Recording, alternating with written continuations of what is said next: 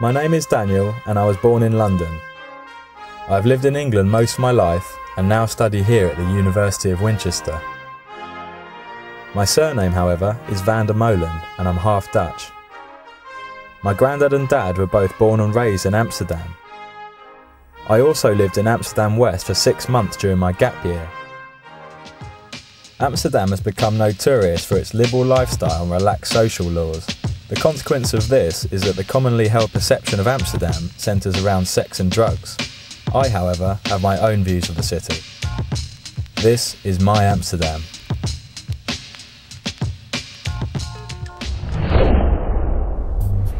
Schiphol Airport. It's the first place a lot of people see on arrival in Amsterdam. It's also had a part to play in my family's history. My granddad worked at KLM for 40 years, both in Amsterdam and in London. My dad and my uncle also worked at Schiphol Airport. It's huge. Schiphol Airport is one of the world's largest and busiest international airports, operating five runways and handling in excess of 50 million passengers per year. After a 20 minute train journey, we arrive here in the heart of Amsterdam at Amsterdam Central Station. With the trains, trams, buses, and metro all starting and finishing at this point, truly lies at the heart of Amsterdam's transport system. And that's not to mention the bikes. The minute you step out of Central Station, you're hit by the sea of bicycles. Over 100,000 are parked here a day. Now, where did I leave mine? As I've said previously, Amsterdam's notoriety stems from its drug culture and red light district. Maybe that's the best place to start.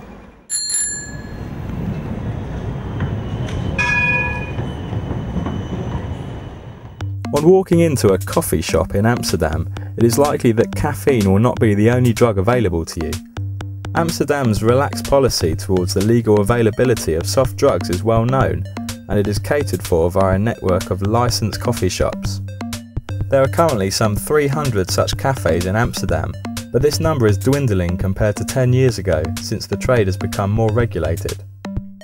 Uh, we have now a right-wing government, well, the Social Democrats and the right-wing right -wing parties, and they are heavily against it. I know many tourists come for smoke hash and, and stuff like that. Yeah, yeah. Of course, yeah. That's that's for us it's normal. The Amsterdam municipal government is not against it, um, so I think they will they will stay. I, I think, but they will be restricted.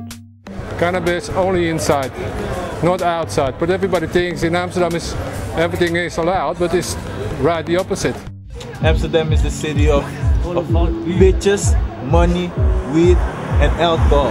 You see this? Party every day. Every day. Elke dag feesten. Look at this. You can smoke weed, roll it on the street. Police don't say nothing. Amsterdam's red light district leaves nothing to the imagination.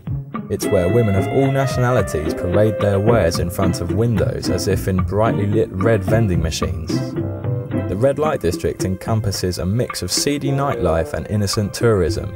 Hordes of men, young and old, seeking their gratification, and busloads of Japanese tourists trying to get another snap for their album.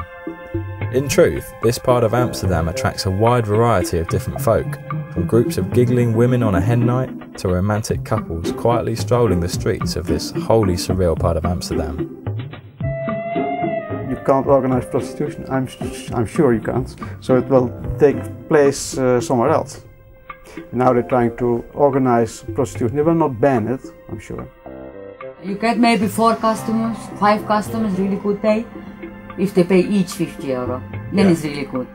The English come more to Amsterdam to have the freedom of smoking a joint, to see the red light district, and just to have the freedom that you have in Amsterdam.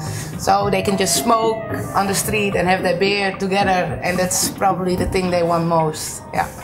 Are your customers usually, uh, have they been smoking a lot? Yes, some customers, yes. England mostly. Yeah. England most. With and...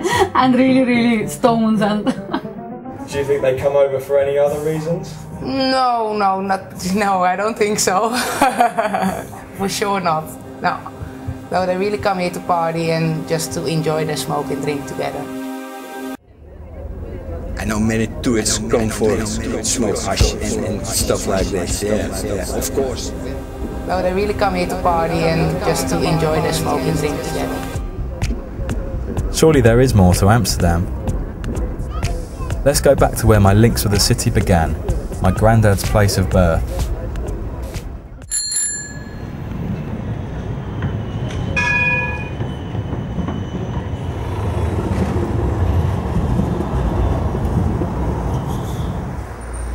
My Dutch granddad, born 7th of May 1919, was as big at Amsterdammer as they come. Big Ajax fan. He was just 22 years old when his life became in danger through Hitler and his Nazi regime. Through no fault of his own.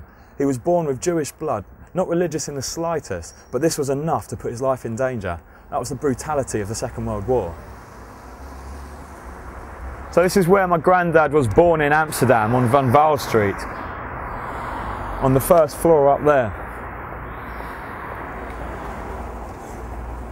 He spent two and a half years in hiding during the war, and luckily he survived. Unfortunately, not all stories ended that way, and one in particular springs to mind.